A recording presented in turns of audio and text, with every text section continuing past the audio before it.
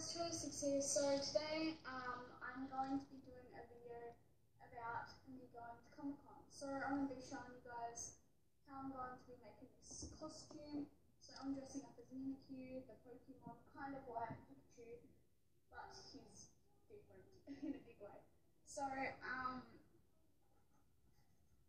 this is my first um, video of me making the costume. So here's how it's starting. So um, we have, uh, this is made out of paper mache.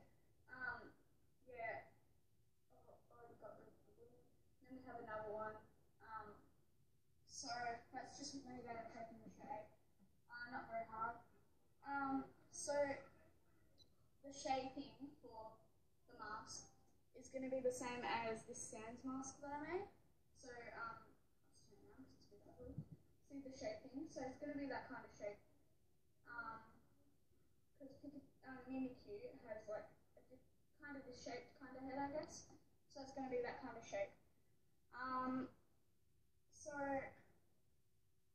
I'm going to um, be using craft foam for the ears and the tail.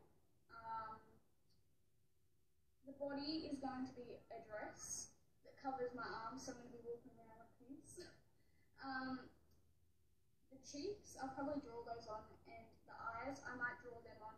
But also, we'll have um, mesh, so I can see, and it'll just look like that inside.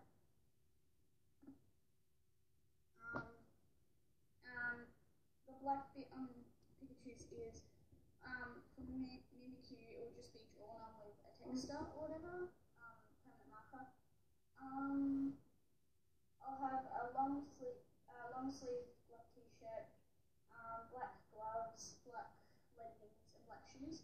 And um, the dress should about go to my ankle, so so you can't really see anything. Um, uh, the color fabric I'll be using is kind of a uh, faded color of yellow, so they're a bit faded yellow. Um, I'll probably draw the mouth on, or I might stitch it, depends. And for the tail, uh, tail is actually made of wood. I'm not going to use wood because that's just crazy. I'm going to use um, some crafting foam and then put uh, brown material on it, and then just stitch that and then put it on there. So that should be alright. Um, so I'm going to be making more videos of this showing you how much progress I've got and keep you guys updated. And um, yeah, so that's all. I'll see you guys next time.